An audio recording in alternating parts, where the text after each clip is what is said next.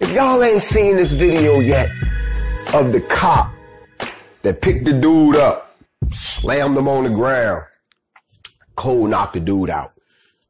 And everybody's standing around just looking at my man on the ground. He done. Oh, what the fuck? Oh, look what the fuck they just did to this boy. Oh. Oh. Look what the fuck they just did to this fucking boy, bro. Slammed his head on the fucking floor. And he picking his phone up. Make him put the man phone down. For nothing. Let me go around traffic for real. He just slammed this boy on the fucking floor. Day, everybody got upset. I got all these people in my damn inbox talking about, look at this, look at this, look at this. Okay, I'll look at it.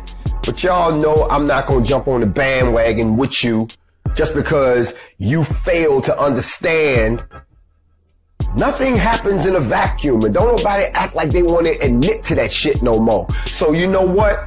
Even though I'm always coming to the aid of my people, even though I'm always the one to say I love my people, even though I'm always the one that's trying to make other people understand why our perspective needs to be respected and inspected and it's a retrospect in the context of what needs to be said. Even though I'm always the dude doing that, even though I'm always on the front line, even though I'm always trying to dig for the real facts, if there's one thing I'm not gonna do, is I'm not gonna stand by and, and jump on the bandwagon of stupidity. Y'all got to stop ignoring the bullshit that we do that puts us into certain situations with these clown ass people who like to call themselves the cops. Everybody want to talk about the fact that the boy got slammed on the ground. Now I'm gonna ask everybody watching an honest question. Everybody, whether I know you or not. If we was walking down the street together, me and you, hanging out, chilling, talking, blah, blah, blah, blah, blah, and somebody you didn't know walked up on you and spit on you, blah. Being what the world is today, being that there are fatal diseases, that there are genetics inside of your saliva, the DNA. So I'm not gonna throw that on you. In this world where people travel from one side of the world to the other in a matter of hours from different countries, bringing all kinds of diseases that you are, it's not that, that, that they gonna die. Your body ain't used to it. You throw your bodily fluids on another person. I used to always hear my mother say, if somebody was trying to break in the house, she would go downstairs and have a roasting pan of hot piss and throw it on them. Now, me as a kid, I used to wonder, where the fuck you gonna get all this piss from? But that's irrelevant. It was just the thought of somebody throwing hot urine on you. And you stand there, and you like, I know this motherfucker didn't throw this piss on me. If someone spits on you, what would you do? And don't try and be cute. They're all civilized. What would you really do? Just walk up, blow. What would you do? Now look here, fam. Oh, to walk down a public street and consume alcohol, which everybody knows is illegal.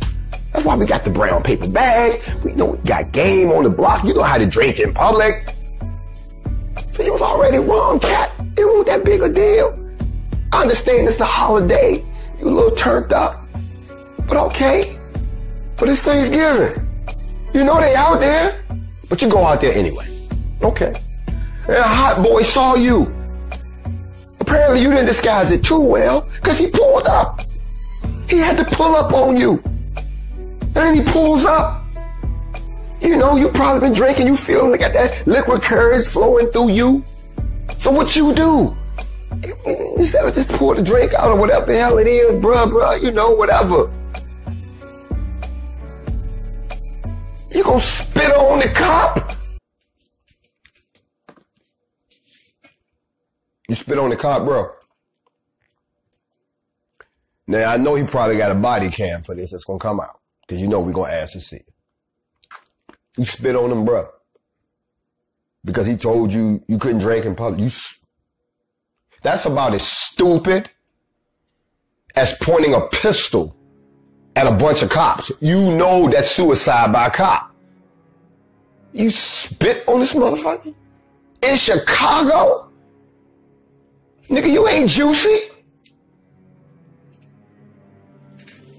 You damn right he picked your ass up and slammed you on the goddamn ground. I'd have done the same thing. I probably would have done more than that. But don't nobody want to talk about that. Where he could have done some other thing. What would you have done? And don't sit there and give me that Martin Luther King, I would have turned the other cheek. Let me walk up on you tomorrow. I'm just gonna spit in your face.